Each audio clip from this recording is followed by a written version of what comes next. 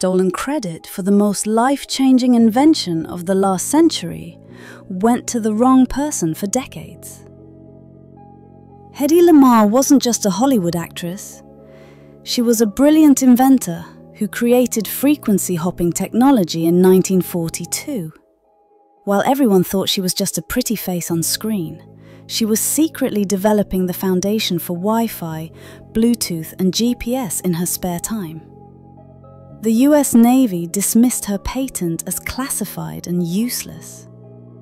Meanwhile, she continued acting to pay her bills while her revolutionary idea sat in a drawer. It wasn't until the 1990s that tech companies realized her frequency hopping was exactly what they needed for wireless communication. Today, every time you connect to Wi Fi or use your phone's GPS, you're using Hedy's invention. She never saw a penny from the billions her technology generated, but finally got recognition before she died in 2000.